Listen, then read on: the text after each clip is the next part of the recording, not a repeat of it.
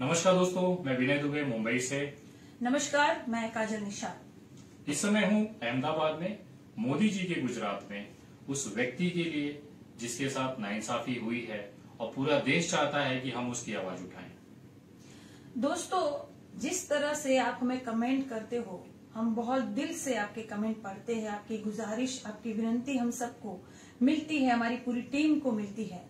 तो आ, पहले आपने कहा था कि डॉक्टर कफील की आवाज़ उठाई और भाई ने जिस तरह से आवाज़ उठाई भाई ने और पूरी टीम ने मिलकर और वो हम हमें हम कामयाब हुए। और अब जिस तरह से आपके मैसेजेस आ रहे अपील आ रही है गुजारिश आ रही है कि संजीव भट्ट जी के लिए आवाज़ उठाइए तो वो हम आवाज़ उठाने आए हैं आपका साथ हमें चाहिए। हम सफल हुए क्योंकि उसमें आपकी ताकत थी। आप जैसे हज़ारों करोड़ों लोग जो इस देश के लोग हैं उन्होंने हमें सम्मान दिया हमारे हाथों को ताकत दी। इसकी वजह से आज डॉक्टर कफील खान अपने घर पे हैं। और आज हम डॉक्टर क्षमा चाहूँगा, आईपीएस संजीव भट्ट जी के घर पे हम लोग गए। वहाँ पे एक ऐसी महिला के हमें दर्शन हुए, जो अकेली है। इस लड़ाई को, पूरी लड़ाई को अकेले लड़ रही है, वो भी उस व्यक्ति के खिलाफ, जिसे देश का सबसे ताकतवर इंसान कहा जाता है। साथियों, वहाँ हम गए तो सही, लेकिन हम ही गए और हमने उनका दर्द देखा। आप गए नहीं हो, आप मिले नहीं हो, आपने तस्वीरों में उनको देखा होगा, वीडियो के माध्यम से शायद उनके संजीव जी को देखा होगा, और गूगल में भी उनके बारे में पढ़ा होगा। लेकिन जो सच्चाई हमने सुनी है, हम अपने शब्दों के माध्यम से, अपने वीडियो के माध्यम से आपको बताएँगे। वो दर्द, वो तकलीफ़ जो वो सह रही है अभी तक तो हम सब एक आवाज़ में अब बोले कि बस अब नहीं। डॉक्टर कफील के परिवार का वो जो दर्द, वो तकलीफ़ था, हम सबने महसूस किया। साथियों, ये तकलीफ़ भी आप महसूस कीजिए, क्योंकि ये दर्द, ये तकलीफ़ कल को आपके घर तक न पहुँचे। वही तो लड़ाई हम लड़ते हैं। क्यों भाई? ये लड़ाई कोई संजीव भट्ट की नहीं है। ये लड़ाई काजल निषाद की नहीं है।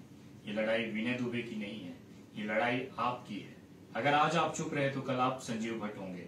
कल आप कफील खान होंगे।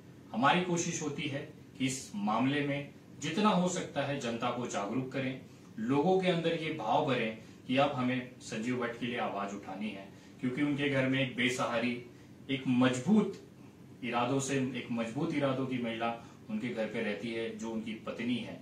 जिस तकलीफ़ में उन्होंने हमें अपनी बातें बताई हैं, मैं सैल्यूट करता हूँ उनके जज्बे को कि वो आज भी हारी नहीं है और इस इंतज़ार में है कि उसको इस देश में न्याय मिलेगा। उनको विश्वास है आप पर, उनको विश्वास है आपके साथ पर कि एक न एक दिन आप उनका साथ देंगे। हम लोग निकल चुके हैं इस रास्ते पे। अब आपकी बारी है। आप सब हमारा साथ दीजिए। देखिए, भाई ने इतना बताया, उतने में तो मेरी आँख भर आई। अगर हम आपको बता दें कि इस तकलीफ़ से वो गुजर रही है, अब से नहीं, महीनों से, सालों से, दोस्तों, आप सब भी ये तकलीफ़ से ना गुजरे, ना हो आपके साथ भी ऐसा और किसी के साथ भी ऐसा ना हो। जो सच है, वो सच्चाई सबके सामने आनी चाहिए। ये तानाशाह वाली सरकार जो है वो हमें तोड़ती है हमारे परिवार को तोड़ती है। ये एकजुटता जो हमारी तोड़ती है हम ये आगे नहीं होने देंगे। आप सबका साथ हमें चाहिए बस।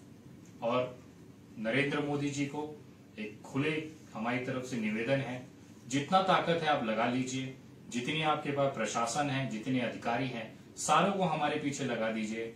अब हम लोग संजीव भट्ट को घर वापस लेके आएँगे। जय हिंद। जय महाराष्ट्र। जय हिंद।